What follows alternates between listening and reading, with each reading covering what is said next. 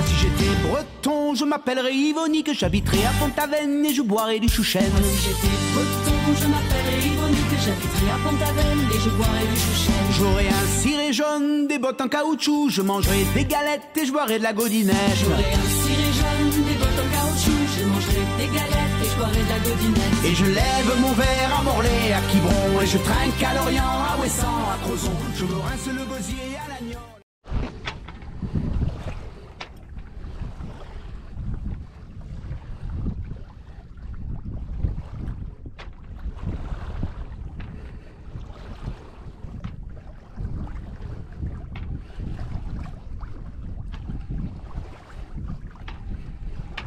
Allez, salut tout le monde Allez, aujourd'hui, petite vidéo que je voulais faire depuis très longtemps. Je vais essayer de comparer la navigation en Méditerranée et dans l'Atlantique. Alors ça, c'est le style de vidéo que tu fais quand tu as trop d'abonnés, quoi. Quand tu as envie que la- de perdre la moitié de tes abonnés. Donc voilà, donc moi je pense que ça doit être ça qui se passe dans ma tête aujourd'hui. Je me dis j'ai trop d'abonnés. Donc allez, on va faire une vidéo polémique, entre guillemets. hein. Bon, déjà, cette vidéo, moi j'ai le droit de la faire parce que j'ai la double nationalité, c'est-à-dire que je suis catalano-breton. J'ai navigué une quinzaine d'années en Méditerranée et une dizaine d'années sur l'Atlantique. Donc je pense que maintenant je suis en capacité de comparer, euh, en tout cas au niveau de mon propre ressenti, ce qui est mieux ou pas dans chacune des deux mers. Alors le premier plan, au niveau de la facilité pour naviguer, alors je vais tenter de répondre à cette question, où est-ce que c'est plus sympa de naviguer Est-ce que c'est en Méditerranée ou en Atlantique? Alors c'est clair que euh, tous les gars qui naviguent en Atlantique, ils vont dire que c'est en Atlantique, et tous les gars qui naviguent en Méditerranée, ils vont dire que c'est en Méditerranée. Voilà. Alors moi, ce qu'il y a de certain, c'est que en arrivant, je connaissais très bien la Méditerranée, et en arrivant sur l'Atlantique, j'étais véritablement... J'avais vraiment le sentiment que c'était beaucoup plus compliqué de naviguer en Atlantique euh, par rapport aux marées, par rapport au courant, et j'avoue que comme j'appréhendais finalement assez peu le phénomène, j'avais vraiment l'impression que c'était difficile. J'avais vraiment l'impression qu'on naviguait et que d'un seul coup on se retrouvait dans des tourbillons de torrents, euh, dans des tourbillons de torrents qui nous emportaient par le fond, ou alors que euh, d'un seul coup il y avait de l'eau, puis d'un seul coup on se retrouvait, on était échoué parce qu'il y avait plus d'eau euh, d'un coup. Je pense que je ferai un jour une vidéo sur les marées et la navigation. Euh, proprement parler, hein, pas forcément sur les influences de la Lune, tout ça, mais vraiment par rapport à la navigation. Mais moi, parce que en venant de Méditerranée, j'avais une image un peu erronée. Alors, je sais pas si pour vous c'est pareil, mais j'avais l'impression vraiment que la mer, elle arrivait et elle s'en allait. Mais c'est vrai que pour moi, c'était pas intuitif. J'avais vraiment l'impression que la mer arrivait et venait, alors qu'en fait, elle monte et elle descend. Et ça change tout sur la perception en bateau, puisque forcément, euh, une fois qu'on a compris qu'elle monte et qu'elle descend, il ne suffit que de s'inquiéter de la hauteur d'eau. C'est-à-dire que soit il y a de l'eau, soit il n'y en a pas, mais c'est par rapport à une hauteur, pas par rapport au fait que euh, la mer se vide et se remplit. Voilà. Et moi j'avais cette vision un petit peu fausse. En navigation c'est assez simple, Euh, il suffit de regarder les hauteurs d'eau et savoir par rapport aux cartes si on passe ou pas, et il n'y a rien de plus compliqué que ça. Là où ça devient compliqué, ça reste les courants euh, qui sont générés par les marées. Ils nous amènent toujours finalement à un endroit ou à un autre. Alors on peut pas faire comme en Méditerranée, aller où on veut, tout à fait, puisqu'il faut toujours prendre en, en considération ces courants, mais finalement c'est une aide euh, ultime à la, navigation. Alors que moi, pareil, j'avais une vision un peu erronée où j'avais l'impression que c'était un truc qui était tout le temps, qui nous contraignait tout le temps. En vrai, ça nous aide à aller d'un point A à un point B. Et, et ça c'est un grand point positif de l'Atlantique, c'est que ça donne un charme fou aux navigations. C'est-à-dire que appareiller à 3 heures du matin parce qu'on doit être à tel endroit à telle heure pour euh, profiter de la renverse de courant ou pour ne pas être vent contre courant dans un endroit compliqué comme le Ratsin ou quoi, ou parce que le courant va nous porter le plus longtemps possible pour arriver à une destination et après on profitera d'un- autre courant, du courant de renverse pour rejoindre une autre destination. Tout ça, ça rend la navigation peut-être un poil plus technique, mais c'est hyper grisant de se servir finalement des conditions pour amener notre voilier. Voilà. On se sert toujours du vent, ça c'est un compte, c'est pareil en Atlantique, en Méditerranée, et le fait de devoir gérer sur d'autres composantes que sont les courants et les marées, et ben ça euh, vraiment ça donne du charme à la navigation. Une fois qu'on a compris, c'est pas si compliqué que ça, et même ça permet même d'avancer plus vite, et en même temps on est dans ce qui est finalement l'essence de la navigation, à savoir à savoir euh, planifier ses horaires de départ, planifier ses horaires d'arrivée. Moi personnellement, autant ça m'inquiétait à la base, mais je trouve que c'est vraiment génial de naviguer avec toutes ces composantes-là. Voilà, donc ça, ça fait vraiment un point pour l'océan Atlantique. Contrairement à ce que je pouvais penser, je pensais que c'était vraiment une contrainte, alors qu'en vérité, c'est vraiment une aide. Voilà. Et si j'ai réussi moi à appréhender ça, euh, honnêtement, tout le monde peut le faire parce que je pense pas que je sois un génie euh, particulièrement. Un inconvénient, ça reste le farniente. Ça, faut bien reconnaître que l'eau, elle est beaucoup plus froide. L'air ambiant, il est quand même beaucoup plus froid. Et autant en Méditerranée, c'est quand même hyper agréable. Autant en Méditerranée, c'est hyper agréable d'aller, euh, de sortir en famille, euh, d'aller se baigner, euh, de se mettre au mouillage dans une crique, de passer la journée à se baigner dans de l'eau à 25 degrés. Autant honnêtement, en Bretagne, je le fais beaucoup moins. Et euh, les navigations, y compris avec les enfants, bah, c'est des fois plus, plus frais. On a souvent la veste de quart, même l'été. Les enfants sont souvent à l'intérieur quand euh, les conditions sont pas bonnes. Là, on a eu un mois de, de- là, on a eu un mois de juillet. Honnêtement, il a fait euh, 10-15 degrés. Il y a eu de la pluie quasiment tous les jours, donc c'était euh, proche de l'enfer. Et si, et en plus de ça, avec des gros coups de vent, ce qui ça a été assez exceptionnel.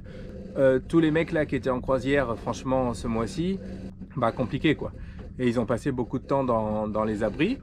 Euh, et honnêtement, moi je suis parti avec les enfants un petit peu, euh, on est parti un petit peu en famille début juillet. Honnêtement, euh, c'était pas très agréable. Moi ça me dérange pas de naviguer avec la veste de quart et sous la pluie, mais honnêtement, euh, pour ceux qui sont moins voiles, c'est quand même pas agréable. Et c'est vrai qu'en Méditerranée, on a des conditions euh, honnêtement de pour le farniente et pour le bronzage qui sont, qui sont optimum. Ça fait quand même un point, il faut reconnaître, pour la Méditerranée. Alors au niveau des conditions pour naviguer maintenant, des conditions météo. Moi en Méditerranée, je faisais beaucoup de voiles légères, notamment beaucoup de planches à voile. Et il faut reconnaître que pour euh, la planche à voile, c'était plutôt mieux. Ici, ça navigue euh, plutôt en slalom et plutôt euh, avec du gros matériel. Et moi, je naviguais beaucoup en, vague avec des, voiles de 4 à 5 mètres carrés maximum. Et c'est vrai qu'on prenait tout le temps 20-25 nœuds de vent. Mais pour la planche à voile, c'était nickel. Honnêtement, sur l'Atlantique, finalement, ça souffle beaucoup moins. Ce qui est beaucoup mieux pour le voilier. C'est-à-dire que si on exclut les tempêtes qui arrivent, allez, les coups de vent une vingtaine de fois par an, on a tous les jours un petit peu de vent, entre 5 et 15 nœuds. Ça, c'est vraiment les conditions typiques. Là, par exemple, aujourd'hui, on a 5-6 nœuds de vent. On, on peut faire de la voile en voilier, euh, c'est agréable. Et c'est vrai que euh, pour faire du voilier, ces conditions-là, entre 5 et 15 nœuds, qui sont hyper fréquentes en Bretagne, les journées de pétole, elles sont euh, excessivement rares, honnêtement. Depuis 10 ans, euh, je sais pas combien j'ai vu de journées de pétole-pétole, mais je dirais une cinquantaine en 10 ans, donc c'est vraiment pas énorme. Il y a toujours, il y a toujours un petit filet de vent. Pour faire du voilier habitable, honnêtement, les conditions en Bretagne, elles s'y prêtent vachement. Elles s'y prêtent vachement. En Méditerranée, et ça c'est un vrai gros inconvénient de la Méditerranée sur l'Atlantique, c'est-à-dire que c'est on-off. C'est-à-dire que moi je suis allé au Baléares par exemple en voilier euh, quand j'étais enfant. Euh, sur la traversée, on a fait euh, 24 heures de moteur. Et par contre, hein, il y a un gros thermique qui, qui se levait, euh, qui se levait tous les jours. Et sans parler de la tramontane, qui peut souffler par contre là toujours entre 40 et 50 nœuds. Euh, bah là, je crois que c'est les conditions qu'il y a actuellement là sur la Méditerranée. Ça fait quelques temps qu'il y a une quarantaine de nœuds, donc c'est pas le plan d'eau il n'est pas praticable.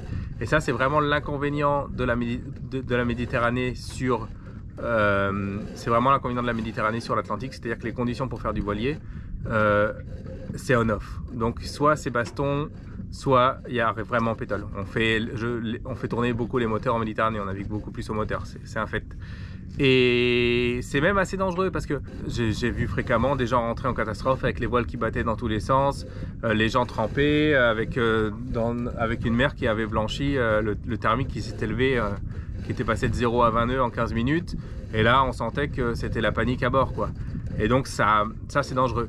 Et ça, c'est un autre inconvénient de la Méditerranée qui est très important, euh, c'est les prévisions météo. Honnêtement, sur l'Atlantique, de ce que j'ai vu depuis 10 ans, c'est pareil. les conditions météo, elles sont fiables, elles sont très très très très fiables. C'est-à-dire qu'on sait exactement à quelle heure le vent va se lever, si le vent est dans une direction, il ne va pas tourner nécessairement, ou alors c'est prévu. À l'heure près, on sait exactement les conditions qu'on va rencontrer. Les systèmes météo, les schémas météo, ils sont beaucoup plus faciles à lire sur l'Atlantique. Et hum, en Méditerranée, les prévisions météo, c'est cata. On sait tout ce qui s'est passé au mois d'août dernier là avec les orages. Euh, les gens, ils ont pris 100 nœuds, 100 nœuds en mer, alors que c'était euh, des conditions euh, optimum, quoi. Alors que c'était des conditions optimum deux heures avant et que c'était des conditions optimum deux heures après. Et les mecs, ils prennent 100 nœuds. Euh, comme ça, et c'est un miracle d'ailleurs qu'il n'y ait pas eu beaucoup plus de dégâts que ça, remis sur les bateaux, mais les bateaux c'est du matériel, bon ça c'est une aparté, mais hum, nous ce, ce type de conditions, Bon, j'en ai marre, je vais virer de bord parce que c'est n'importe quoi.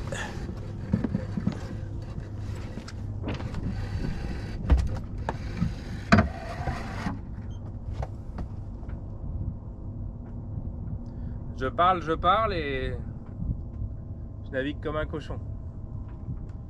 Le vent tourne dans tous les sens. euh, C'est un vrai scandale.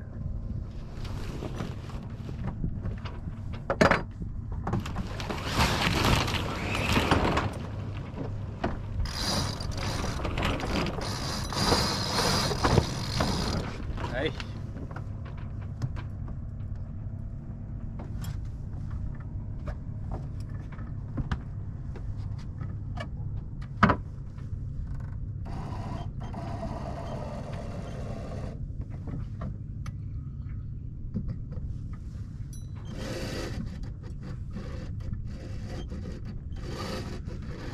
Voilà.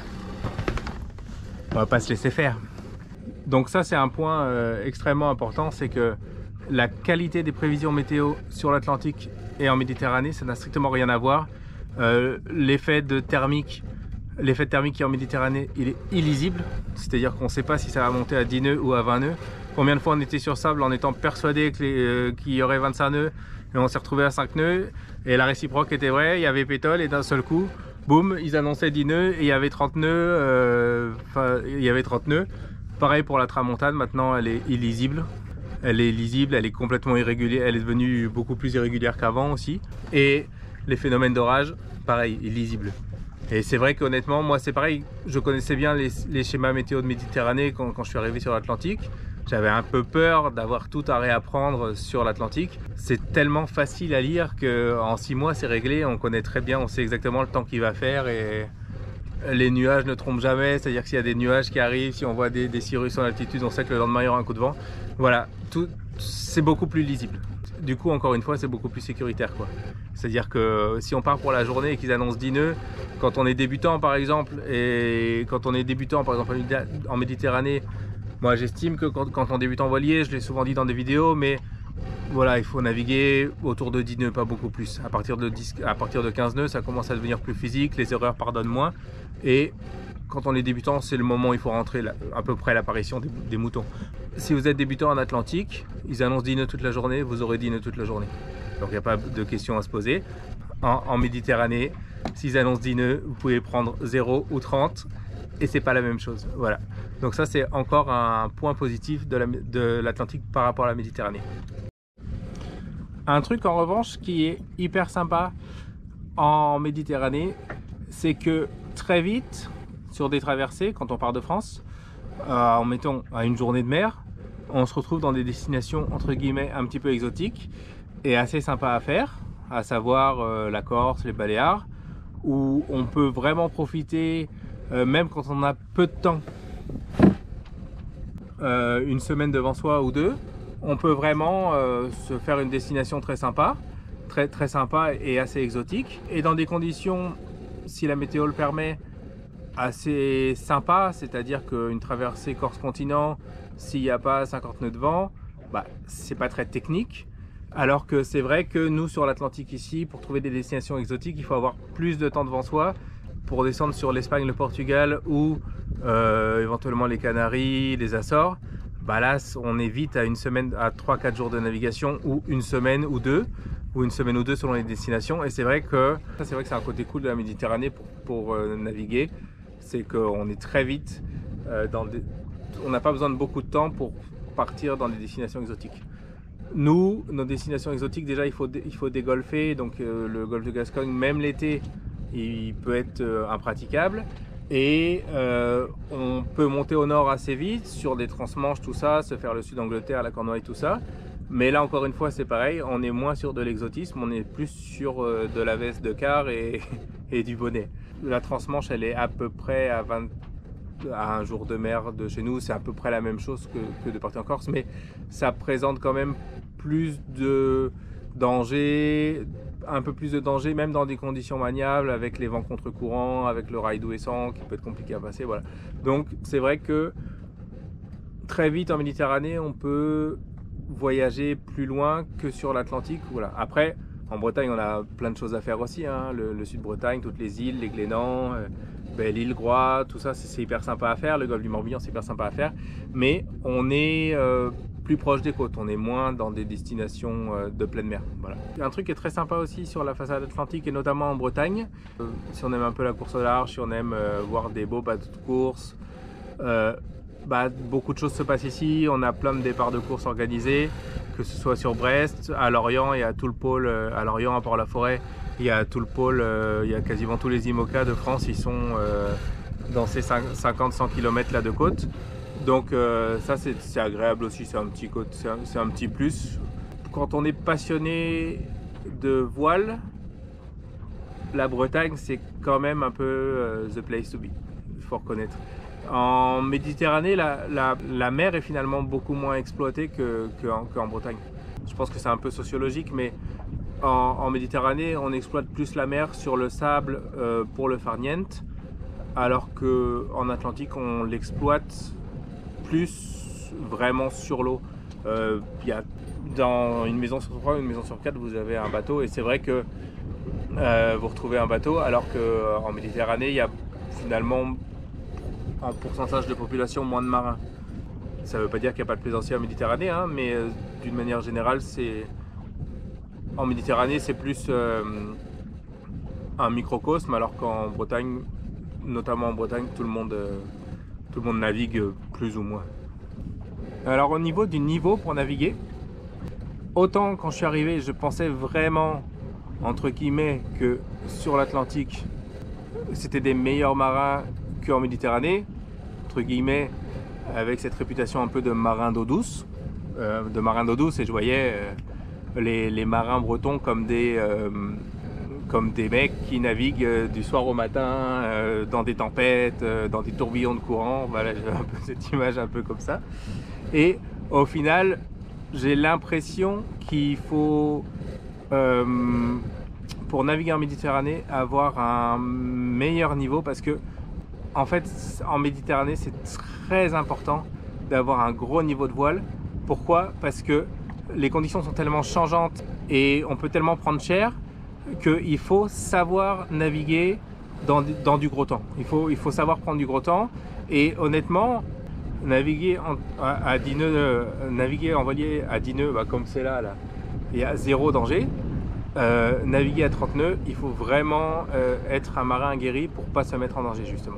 Et c'est vrai que finalement la Méditerranée, elle demande, même s'il n'y a pas toutes ces histoires de courant, ces histoires de marée, ces histoires de cap de l'impossible à passer, final- finalement c'est vrai que sur euh, la Méditerranée, ça demande d'avoir une grosse gestion. En- dans l'Atlantique, en restant dans des endroits un peu protégés et en regardant bien les conditions météo, on se mettra beaucoup moins en danger que sur euh, la Méditerranée. Voilà.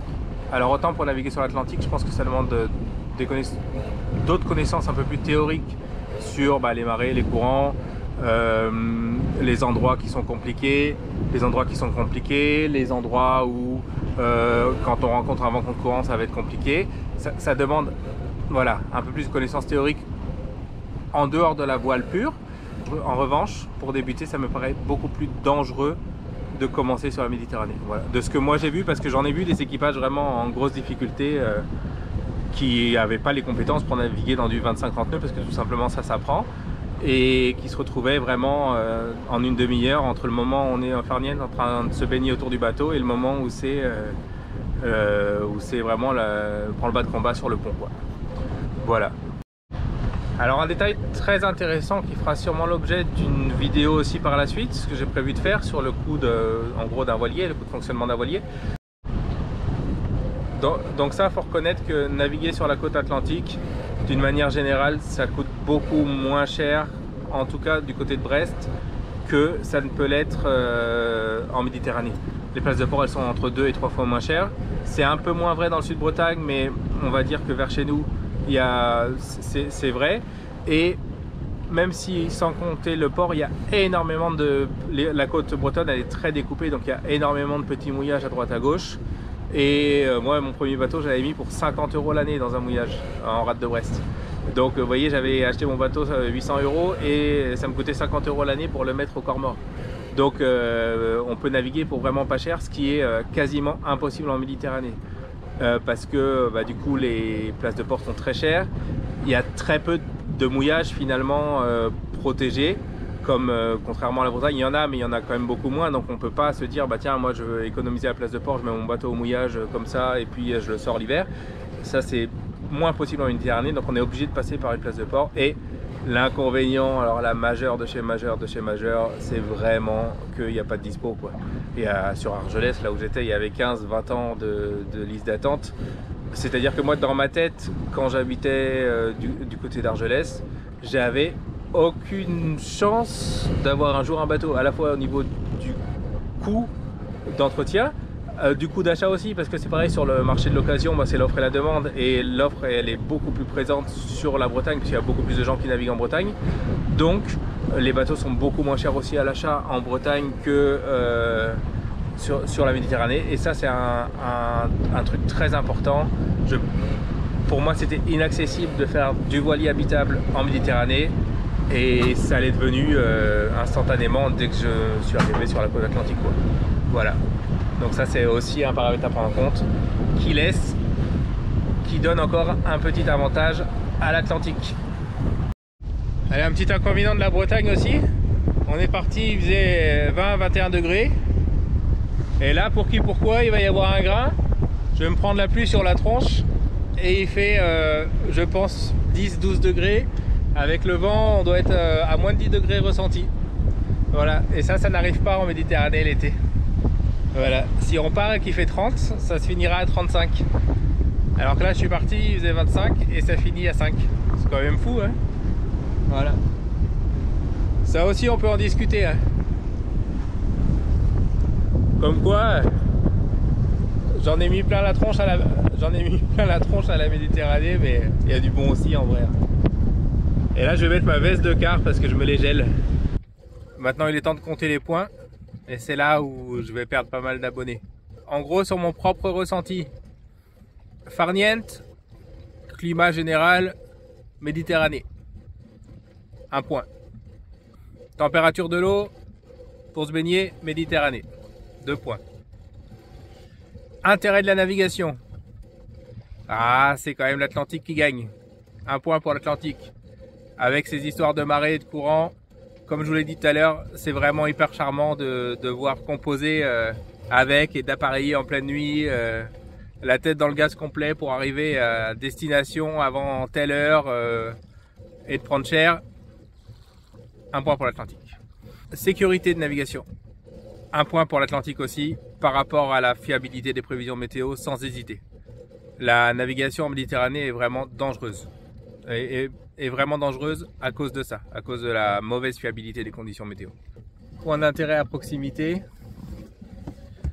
on va dire quand même euh, la Méditerranée pour les côtés exotiques de la Corse, des Baléares, de la Sardaigne, tout ça. Un peu moins pour nous, euh, et nous on a ces destinations exotiques un peu plus loin.